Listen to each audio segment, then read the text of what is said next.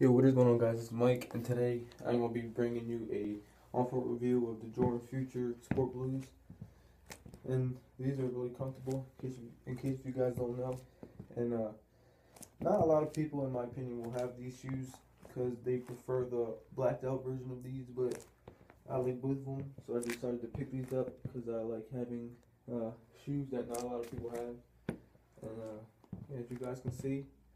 I have two different sock types on. You guys can see, I have a uh, low top uh, ankle cut sock on my left foot, and I have the uh, uh, high top, not high top, but um, crew cut sock, matching socks that came that come with these shoes on my right foot. In case you guys are wondering, and I have my uh, tips like this. In case you guys are wondering, in my unboxing video, if you guys want to learn how to do this, uh, you can just go check that out and uh, figure out how I did this. So this is what the Sport Blue Jordan Futures look like on feet.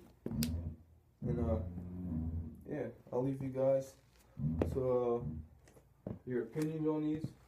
Can you uh, guys give me your opinions on what you think of these? I know a lot of people don't like these, but I honestly really like these. And uh, yeah, so um, that's the outsole of it. As you can see, has the two black parts on the bottom. And I will bring, be bringing you guys a um, uh, on feet with these with long pants on, which will probably be my joggers.